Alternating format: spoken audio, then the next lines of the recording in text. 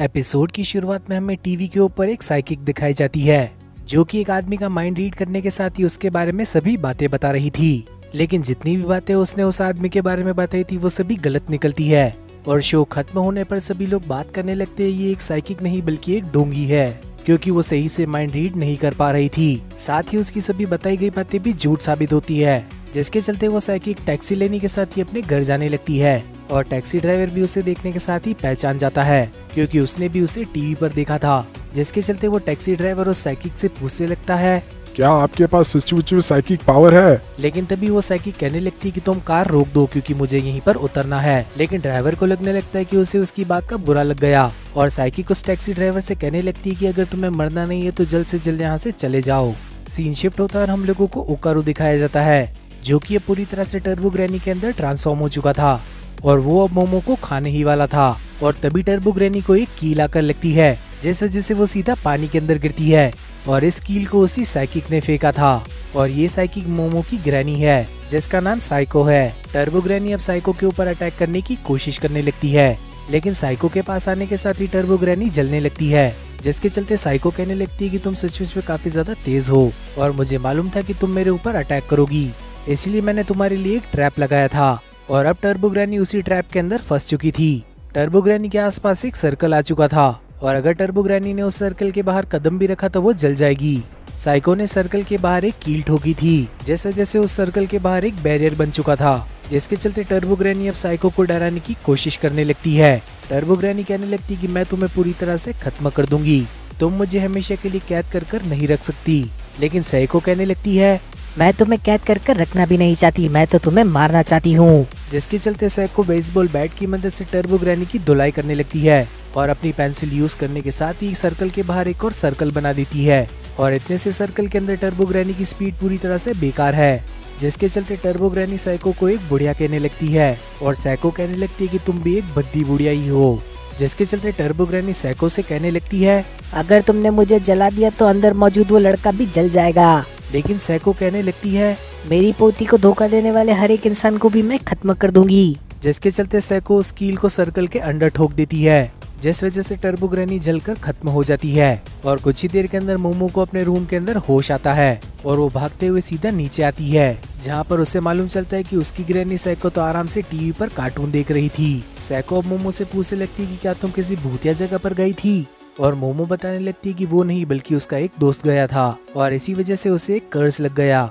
लेकिन सैको तो बेवकूफों की तरह हंसने लगती है, जिसके चलते मोमो पूछने लगती है कि आखिर मेरा दोस्त कहाँ पर है? और सैको कहने लगती है कि अगर तुम उस आत्मा की बात कर रही हो तो मैंने उसे खत्म कर दिया, जिसके चलते मोमो डरते हुए पूछने लगती है क्या उस लड़के ने चश्मा पहना था? लेकिन सैको उसे ताना मारते हुए कहने लगती है तुम तो आज तक मुझे एक डोंगी कहती थी और तुम्हें तो भूतों के ऊपर भी विश्वास नहीं था। जिसके चलते मोमो अपना सर झुकाते हुए सैको से माफ़ी मांगने लगती है और मोमो पूछने लगती कि आखिर ओकारू कहाँ पर है। और सैको कहने लगती कि बाहर श्राइन के अंदर जाकर देखो जिसके चलते मोमो गुस्से में कहने लगती है अरे बेवकूफ़ बुढ़िया अगर ओकारू को कुछ हुआ तो मैं तुझे माफ़ नहीं करूँगी।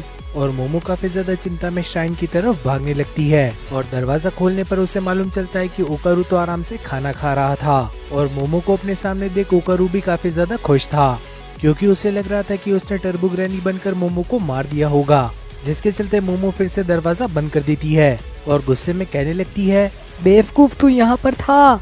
और सैको वहाँ पर आकर बताने लगती कि ओकारू श्राइन के अंदर ठीक है, लेकिन श्राइन के बाहर आने के साथ ही वो टर्बो ग्रैनी के अंदर तब्दील हो जाएगा। लेकिन ओकारू के मरने की खबर सुनने के साथ ही मोमो काफ़ी ज़्यादा परेशान हो गई थी और सैको कहने लगती कि क्या तुम इससे पसंद करती हो? लेकिन मोमो कहने लगती कि ऐसा बिल्कुल भी नहीं है, बल्कि टर्बो ग्रैनी ने इसका केला चुरा लिया है और जब तक इसे अपना केला नहीं मिलेगा, तब तक इसका कर्ज खत्म नहीं होगा। और क्योंकि इस चीज़ की जिम्मेदार मोमो है तो वो उसकी मदद करना चाहती है। मोमो सैको को बताने लगती है कि वो एक यूएफओ के अंदर फंस गई थी, जहाँ पर मोमो ने अपनी साइकिक पावर्स को यूज़ किया था। लेकिन सैको कहने लगती है कि यूएफओ जैसा कुछ नहीं होता, और मोमो कहने लगती कि कल तक मुझे भी ऐसा ही लगता था, जिसके चलते सैको कहने लगती है टर्बो ग्रैनी ने पुराने समय के अंदर काफ़ी सारा खौफ फैलाया हुआ था, और जब सैको को मालूम चला कि टर्बो ग्रैनी टनल के अंदर रहती है तो वो भी वहाँ पर गई। लेकिन टनल के आसपास काफ़ी ज़्यादा स्पिरिचुअल पावर मौजूद थी। सैको बताने लगती कि टर्बो ग्रैनी एक लोकेशन बाउंड स्पिरिट है। इस तरह की स्पिरिट एक जगह पर ही रहा करती है। और इस तरह की स्पिरिट अपने इलाके में काफ़ी ज़्यादा ताकतवर होती है। और इसी तरह की स्पिरिट तुम्हें उस टनल के अंदर मिली थी। तो अब इस लड़के को अलविदा कहने के साथ ही अपनी नॉर्मल ज़िंदगी के अंदर लौट जाओ। और मोमो भी यहाँ पर कैंता कूरा की तरह सोचने लगती है। क्योंकि कैंता कूरा कभी भी हार नहीं मानता। और मोमो फैसला करती है कि वो ओकारू की मदद ज़रूर करेगी। और साइको कहने लगती है कि तुम्हें तो प्यार हो गया। और मोमो कहने लगती कि मैं तो एक्टर कैंता कूरा की बात कर रही हूँ, जिसके चलते सैको कहने लगती है, टर्बो ग्रैनी को अपनी स्पीड के ऊपर काफ़ी ज़्यादा घमंड है तो तुम्हें उसे पकड़म पकड़ाई के लिए चैलेंज करना होगा। और अगर हम उसे भगाते हुए शहर के बीचों बीच लेकर आ गए तो वो कमज़ोर हो जाएगी, और शायद फिर हम उसे हरा सकें। और मोमो कहने लगती कि क्या हम इस तरह का बैरियर टनल के बाहर नहीं लगा सकते? और सैको कहने लगती कि हर जगह के देवता अलग अलग होते हैं, और अगर सैको शहर के बाहर चली गई तो वो इस पावर को यूज़ नहीं कर पाएगी। टर्बो ग्रैनी को हराने का सिर्फ़ एक ही तरीका है, उसे अपने इलाके के बाहर लेकर आना। और आज से ही ओकारू को भागने की तैयारी करनी चाहिए। लेकिन मोमो कहने लगती कि ओकारू के शरीर में तो बिल्कुल भी स्टेमिना नहीं है, जिस वजह से उसे भी उसके साथ रहना होगा। और सैको कहने लगती कि तुम्हें मोमो को अपने कंधे पर उठाकर भागना होगा, जिस वजह से आज ही से एक्सरसाइज करना और ट्रेनिंग करना शुरू कर दो। साथ ही मोमो को भी अपनी साइकिक एनर्जी बढ़ानी होगी। जिसके चलते सैको कहने लगती है कि तुम दोनों को अब सो जाना चाहिए क्योंकि कल से तुम्हारी ट्रेनिंग शुरू हो जाएगी।